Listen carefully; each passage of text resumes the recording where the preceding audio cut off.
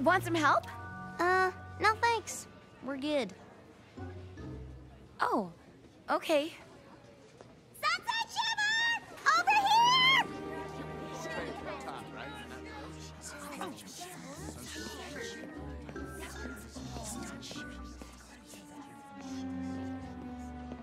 here! I had no idea the whole school would be here. Quite the eye-catching advertisement, if I do say so myself. And it smells like cake! It does? I use frosting instead of paste! Uh, Fluttershy, you got a little something, uh, Did I get it? not exactly.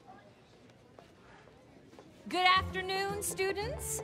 I just wanted to tell you all how pleased I am that so many of you are going to participate in the first ever Canterlot High School Musical Showcase. This is a wonderful opportunity to raise money for all our after school programs here at CHS. So keep working on those signs and posters. I think it's going to be one of the most exciting events we've had at CHS since the fall formal.